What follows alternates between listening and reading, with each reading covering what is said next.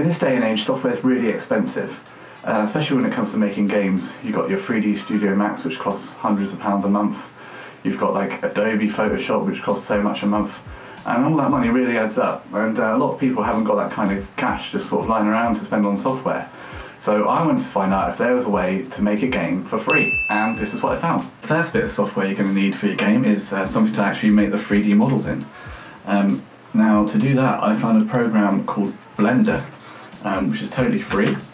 And if you go to Google Blender a second, here we go. No, that's not sort of Blender I mean. Here we go, download name of the Blender project. Um, so this is open source and it's totally free for use for any purposes forever. Uh, and that's got a great community, you can do your 3D models into that and import it into the game engine. But once you've created your 3D model, you then have the problem of how do you texture it. Well, you can do that for free too. You don't necessarily need Photoshop or Substance Painter, which is what I use. You can go to, careful when you Google this, you can go to, um, if you type in GIMP, uh, and hopefully you get um, the uh, at the top of the search should be the um, GNU image manipulation program.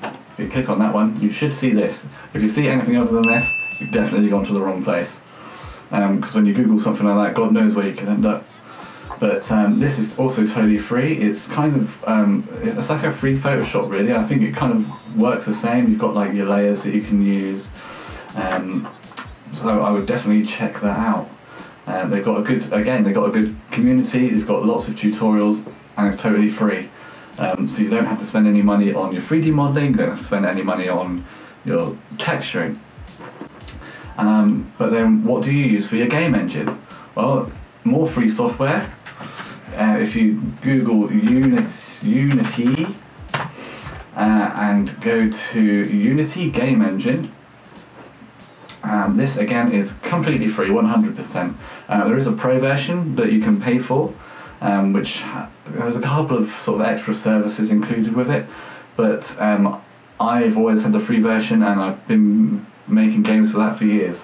Um, so you can go to Get Unity and um, you can come to uh, like a download section, uh, personal, which is free, and it kind of you can compare the plans here um, and you can see what you can get for your money.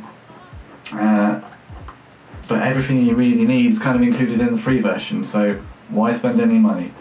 Um, that's probably not what Unity wants me to tell you, but, but I'm not sponsored by them, so tough.